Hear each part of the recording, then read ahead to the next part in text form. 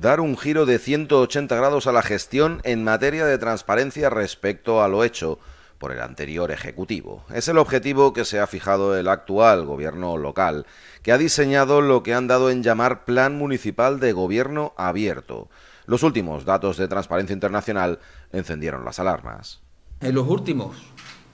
tres años en el que Transparencia Internacional mostraba el índice, bajado más de 33 posiciones, lo que demostraba claramente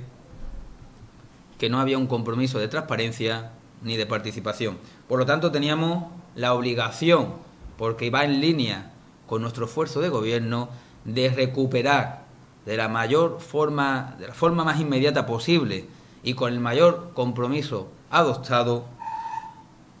puestos en ese índice de transparencia internacional. Y para ello solamente teníamos que hacer algo que es relativamente fácil, y es cumplir los índices los ítems que además se ajusta a toda la legislación conforme a transparencia que en el ámbito estatal y en el ámbito andaluz se estaban pidiendo para poder llevar a cabo lo que se suele llamar un buen gobierno. A lo largo de la presente legislatura quieren poner en marcha distintas iniciativas que faciliten el acceso de la ciudadanía a la información sobre la gestión municipal y su participación en las decisiones. Queremos poner en marcha iniciativas también de jornada, una escuela de ciudadanía donde podamos pues, hacer un debate social, un debate público de los asuntos que más interesan a la ciudad y a partir de aquí bueno, pues ir avanzando y que Marbella sea referencia de la participación, de la transparencia, de los datos abiertos, del gobierno abierto en definitiva y no de lo que lamentablemente pues venimos como lastre arrastrando, ¿no? como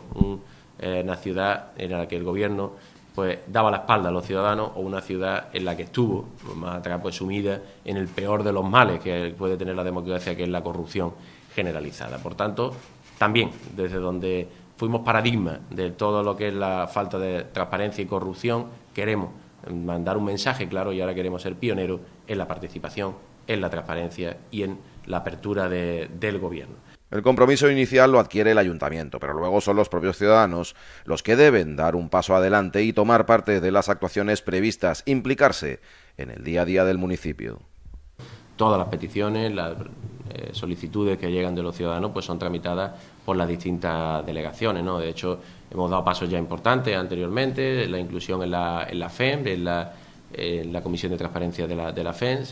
hemos aprobado otras medidas claras también para que haya pues comisiones de, trabajo, por ejemplo, para evaluar el cumplimiento de los acuerdos que se tomen en el Pleno, eh, o otra en la que se va a evaluar una cuestión como es las sugerencias que han hecho los vecinos en, en los consejos de participación ciudadana, y hay ahí elementos suficientes para que los vecinos, bueno, pues están teniendo ya un espacio, pero que, como decimos, no renunciamos a ampliarlo cada vez más y a que sea el ciudadano el que tome un papel protagonista aquí y que hoy el paso lo da la Administración, pero lo que nos gustaría es que fueran también los ciudadanos los que fueran tomando esos pasos y reclamando esas parcelas también de poder, de poder decidir.